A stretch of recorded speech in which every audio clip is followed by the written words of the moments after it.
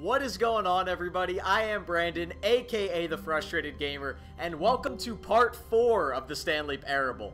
I am off of work today. I don't know if you can see, but it's an absolute blizzard out there. Uh, so I figured what better way to spend my day off of work than making part 4 of the Stanley Parable. In part 1, we basically beat the game as far as I gathered. In part 2, uh, we didn't listen to the narrator and he basically screwed with us for about 15 or 20 minutes. And then in part 3, we killed Stanley. So we have been all over the map. I still think there's probably 10 more options of, of storylines that we can, we can discover. Uh, so let's get started and see where else this storyline goes. Okay, so we have nothing on the ground, no yellow line or any All of path. co-workers were gone. Yeah, yeah, he said this about Stanley 15 decided to go times already. room. Perhaps he had simply missed a memo. So I'm not exactly sure what I'm going to do this time. I- I think I'm going to follow the storyline for now, and then once I get to a spot where I know I haven't gone before, I'll follow that route. I think there's a spot where I've gone upstairs every time, so maybe I'll go downstairs. When Stanley came to a set of two open doors, he entered the door on his left. I'm going left because I know when you go right, the narrator just, he gets pissed off and he messes with you for an entire storyline, basically. Alright, so here's the conference room. I know it's going to be Yet empty. There was not a single person here either. Feeling a wave of disbelief, Stanley decided to go up to his boss's office, hoping he might find an answer there. Wow, so I just saw tips on how to not get fired, and the first tip was talk less. Uh, now it's how to solve it. Oh, I didn't even get to read it. They're just clicking through them quickly. Wait, how are they clicking? I guess it's just on an automatic timer. Alright. Strange company. It's a strange company. There's my favorite broom closet. I'm sure I'll be back there eventually. Here's the stairs. So he tells me to go up. I think I'm going to go down this time. Coming See where that goes. Stanley walked upstairs to his boss's office. I'm going down. I am going down. Is this door open? Nope. Ooh, it's starting to get red. What is going on down here? Alright, nothing back here. I'm surprised the narrator hasn't yelled at me yet. Usually he gets mad when I don't follow his instructions. Is that car running? Why did it get so But quiet? Stanley just couldn't do it. He considered the possibility of facing his boss. Admitting he had left his post during work hours, he might be fired for that. And in such a competitive economy, why had he taken that risk? All because he believed everyone had vanished? His boss would think he was crazy. And then something occurred to Stanley. Maybe, he thought to himself, maybe I am crazy. All of my co-workers blinking mysteriously out of existence in a single moment for no reason at all? None of it made any logical sense. And as Stanley pondered this, he began to make other strange observations. For example, One, why two, couldn't B, he see four. his feet when he looked down? Why did doors close automatically behind him wherever he went? And for that matter, these rooms were starting to look pretty familiar. Were they simply repeating? No, Stanley said to himself, this is all too strange. This can't be real. And at last, he came to the conclusion that had been on the tip of his tongue. He just hadn't found the words for it.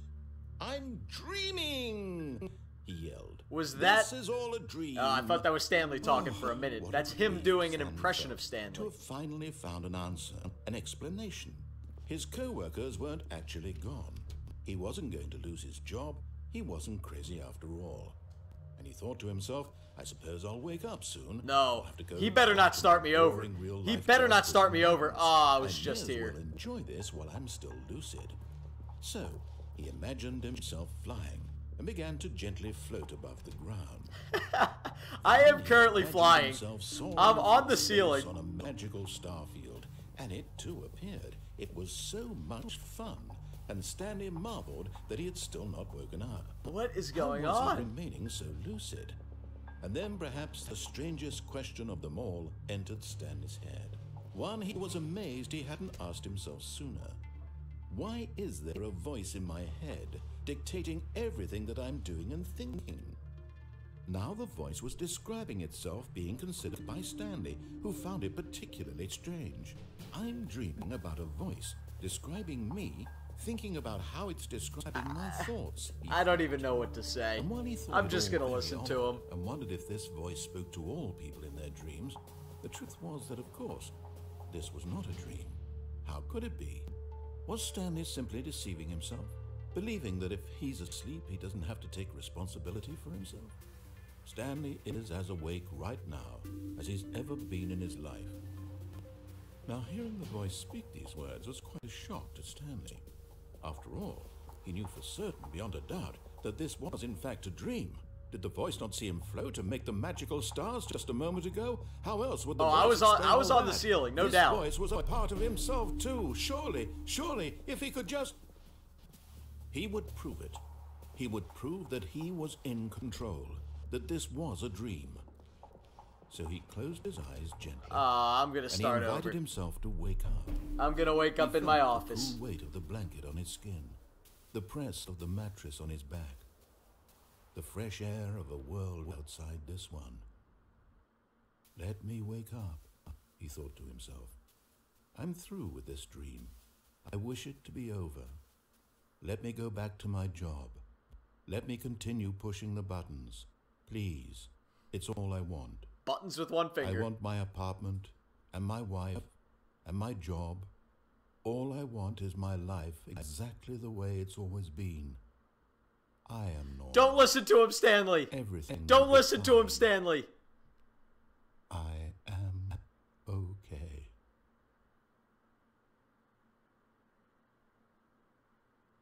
I thought I was gonna wake up in the office.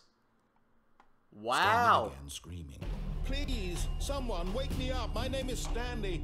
I have a boss. I have an office. I am real. Please, just someone tell This me is I'm getting real. eerie. I must be real. I must be. Can anyone hear my voice? Who am I? Who am I? And everything went black. Ah! I know I'm gonna wake up in the office. This is the story of a woman named Mariella. Huh? Mariella woke up on a day like any other. She arose, got dressed. Why didn't I just go up the stairs? Why didn't I just go up the her place of stairs? But on this particular day, her walk was interrupted by the body of a man who had stumbled through town talking and screaming to himself, and then collapsed dead on the sidewalk. And although she would soon turn to go call for an ambulance, for just a few brief moments she considered the strange man. He was obviously crazy. This much she knew. I think I'm gonna go crazy after I play this game too much and longer. in that moment, she thought to herself how lucky she was to be normal. I am sane. I am in control of my mind. I know what is real and what isn't. It was comforting to think this, and in a certain way, seeing this man made her feel better. But then she remembered the meeting she had scheduled for that day.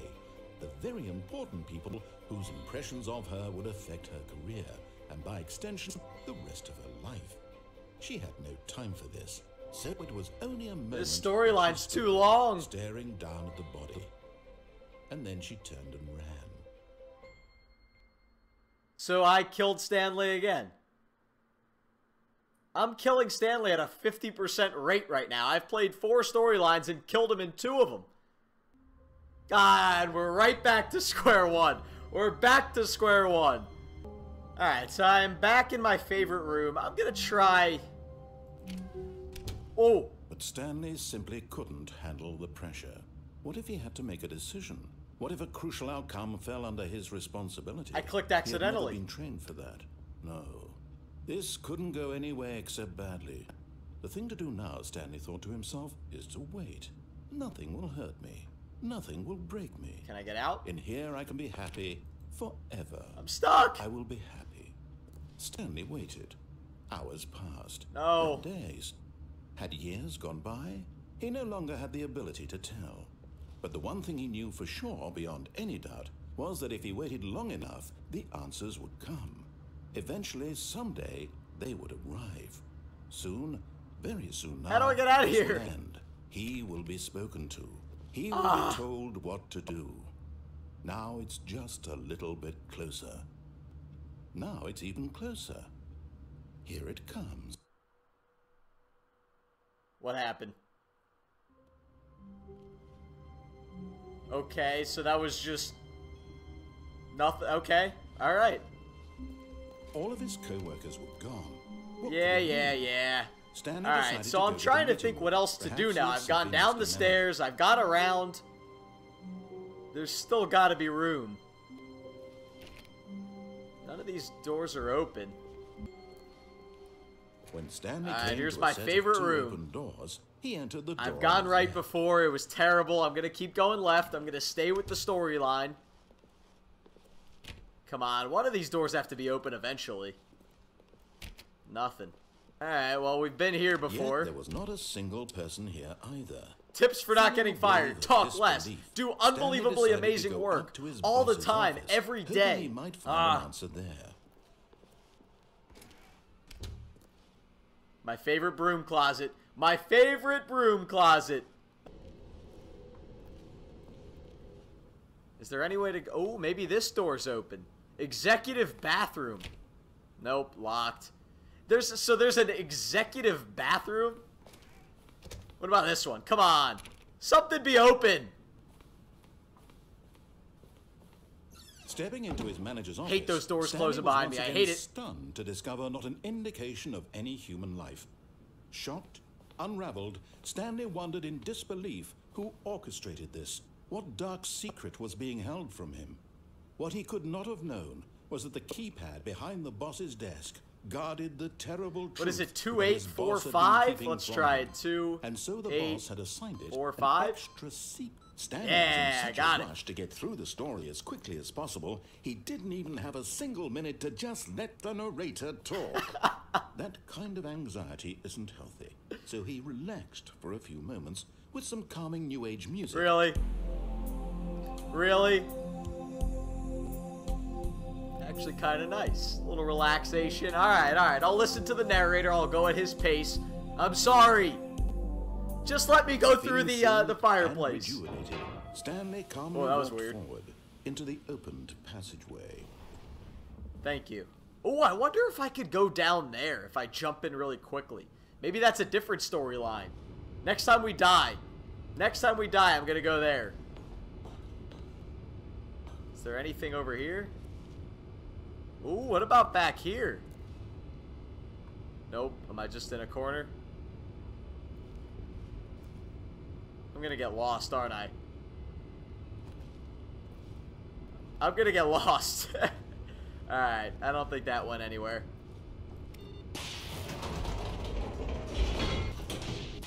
Alright. Well, we're not gonna do the escape path because that Stanley ended with Stanley dying. Through the large door that read Mind Control Facility. Not going that way. If you go that way, you die. I'm just giving you a heads up. Alright, we've been here also. No, he refused to believe it. Believe it, Stanley. You're it. under surveillance. One of these 9,000 TV screens is you. Never. It was unthinkable, wasn't it? Was it even possible? Yes. Had he truly spent his entire life utterly blind to Yes. the world? Yes. Yep. But here was the proof. The heart of the operation. Controls labeled with emotions. Alright, let's explore or here a little bit. Oh! content. Walking, eating, working. that button all do? of it monitored and commanded from this very place. Okay, And as the so- cold reality of his past Stop talking. began to sink in, Stanley decided that this machinery would never again exert its terrible power over another human life. For Yeah, yeah. he would dismantle the controls once and for all. Sounded a little bit like Darth Vader there at the end. Once and for all. Alright, mind control. I wonder if I could press that. Nope. Man, I thought I was going to be able to press that. Anyway, so there was a number 5 button at the end of this room. I remember that from part 1, and I just saw a number 3. Okay, so we got some numbers here. Let's press them in order. 1. 2. Alright, 3 was back over here. I don't... This might do absolutely nothing, but I feel like those numbers have to be there for some reason. Here's 3. Now, where's 4? 4 is the one that I haven't found yet. Ooh, I haven't been down here before. Alright, I guess that's nothing. Where's number 4? Number 4's got to be around here somewhere. That's number five. Where the hell's number four? All right, so we got one, two. Oh, is that it up there? Is there even a, a spot that I can go up? Can I go up those stairs? All right, so we got one, two, three. I'm going to go up these stairs and hit number four, and then finally hit number five, and hopefully something exciting will happen. Alright, here's number four. And now all I have to do is hit five. Alright, here we go. Five. Come on, do something. Ah, oh, are you serious? Nothing? It did nothing? Ah, we're gonna keep going. Mind controls idle, awaiting input. Alright, well last time I said off, he found the source and I won the power. game. He knew it was his duty. I'm clicking on this time. I am clicking on. to this horrible place and to everything it stood for. Not doing it, buddy. On! Oh, Stanley. You didn't just activate the controls, did you? Yes, I did. After they kept you enslaved all these years, you Yep. go and you try to take control of the machine for yourself. Is that what you want? Loading mind control systems. Oh, Stanley, applaud your effort, I really do. But you need to understand, there's only so much that machine can do. You were supposed to let it go, turn the controls off, and leave. If you want to throw my story off track, you're going to have to do much better than that. What? I'm afraid you don't have nearly the power you think you do. For example, Ah. and I believe you'll find this pertinent, Stanley suddenly realized he had just initiated the network's emergency detonation system. In the event that this machine is activated What? without proper DNA identification, nuclear detonators are said to explode, eliminating the entire complex. How long until detonation then? Hmm, let's say, um, two minutes. Ah, now this is making things a little more fun. So do I leave? It's your time to shine. You are the star. It's your Where do I go? now. Do I just Shape run? To your heart's desires. Oh, this is much better than what I had in mind. What a shame we have so little time left to enjoy it. Uh, Mere moments until the bomb goes off. But what precious moments each one of them is. I don't know what to do. More time to talk about you. I'm gonna try to hit the buttons in a row, and hopefully that'll turn it off. What all this means. I barely know where to start. One, What's that? You'd like to know where your co-workers are? two. A moment of solace before you're obliterated. Oh, this guy's sick. The narrator's in on it. I knew it. The narrator's in on it. I erased them. I turned off the machine. I set you free. Of course, that was merely in this instance of the story. Sometimes when I tell it, I simply let you sit there in your office forever, pushing buttons endlessly and then dying alone. This guy Other is times, sick. I This narrator's sick. ground, swallowing everyone inside, or I let it burn to a crisp. I have to say this, though. This version of events has been rather amusing. Watching you try to make sense of everything and take back the control wrested away from you, it's I'm scared. I'm honestly scared right now of this narrator. But I'm sure whatever I come up with on the next go around will be even better. My goodness, only 34 seconds left. That but didn't I'm do anything. enjoying this so much. You know, Ah. to hell with it. I'm going to put some extra time on the clock. Why not? These are precious additional seconds, Stanley. Time doesn't grow on trees. Where do I go? Oh dear me, what's the matter, Stanley? Is it that you have no idea where you're going or Yes. what you're supposed to be doing right Yep. now? Or did you just assume when you saw that timer that something in this room was capable of turning it off? Absolutely. I mean, look at you. That's what I thought. From button to button, screen to screen, clicking on every little thing in this room. These numbered buttons, no, these colored ones, or ah. maybe this big red button. Do they just mean nothing? door. Everything, anything, something here will save me. Why would you think that, Stanley? That this video game can be beaten? Won? Solved? Do you have any Failsafe. idea Come on! purpose in this place is? Oh, that is creepy. You're in for quite a disappointment. But here's a spoiler for you. That timer isn't a catalyst to keep the action moving along.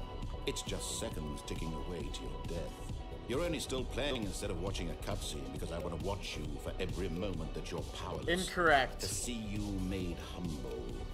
Incorrect. It's not a challenge. It's a tragedy. You wanted to control. Oh, I'm terrified! What's gonna happen to me? I'm going to destroy it first, so you can't. Take a look at the clock, Stanley. That's 30 seconds you have left to struggle. 30 seconds until a big. Okay, okay.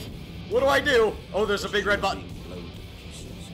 Will you cling desperately to your friend? That didn't do anything. He said it wasn't gonna do anything and it didn't. Another choice. Oh, everything's shaking!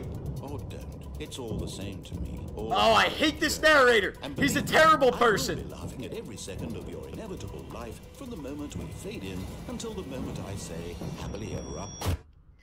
I think I just blew up. I just blew up. So now I'm killing Stanley at a 60% rate. I've tried five different scenarios and I've killed Stanley three out of the five times. Am I going to be right back in the room? Right back in the room. I, I... That is it for part four of the Stanley Parable. Um, I'm probably going to make one or two more. Uh, I'm going to do a little research so I'm not just running in circles this time. I'm going to find out something that I could do that'll be different. I hope you guys enjoyed the video. If you did, please like the video. Please subscribe to my channel.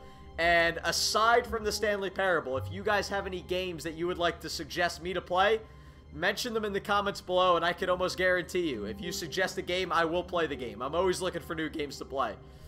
Stanley Parable Part 4 is over, and I will see all of you guys in the next video, Stanley Parable Part 5. Have a good one.